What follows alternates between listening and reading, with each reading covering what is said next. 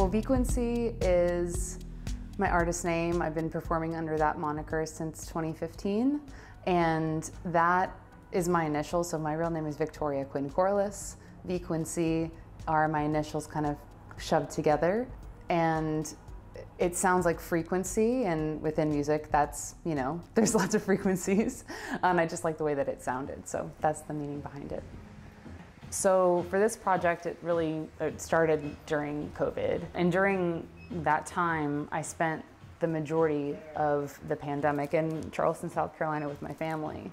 Um, and it was the first time that I had been, like, obviously we were all isolated in a lot of ways. Um, but I wasn't here. I was like really isolated from like the creative community that I'm a part of during that time that we were working on stuff, there was a lot of changes in my life too.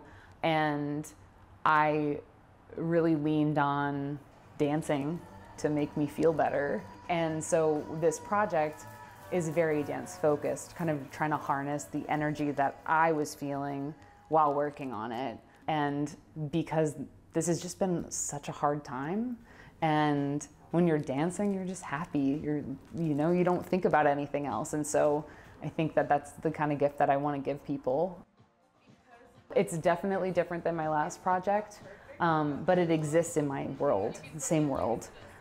And that feels good. It's kind of like the next step, like the evolution of what I've been building. Fashion is a huge way that I express myself and always has been. So I love vintage clothing, I love collecting it, I love styling. I love modeling. I think it's really fun to create art in that way because it fuses a lot of the things that I'm passionate about, like fashion, photography, and also music. Like, you have to have music when you're shooting, and how music can really influence how you're moving your body.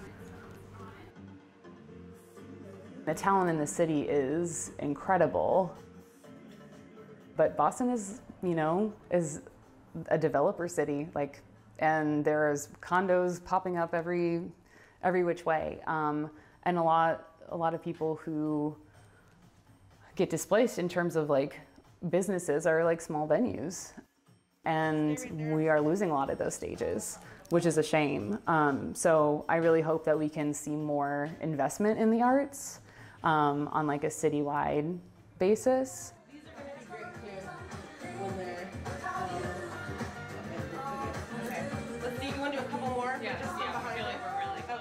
The hardest lesson that I've had to learn is being comfortable with discomfort. I feel like when you're learning something new, you're not, you're obviously not good at it, right? Um, and that's a moment where you can be like, I'm not doing this anymore. I'm not like, it, it's uncomfortable. It's uncomfortable to not feel adequate um, or proficient in something. And I've really had to like look that down, like down that down the barrel and just being like, that's okay. I'm gonna keep working at this and I'm gonna get better. That's taken me a long time to get there, but it's been really rewarding.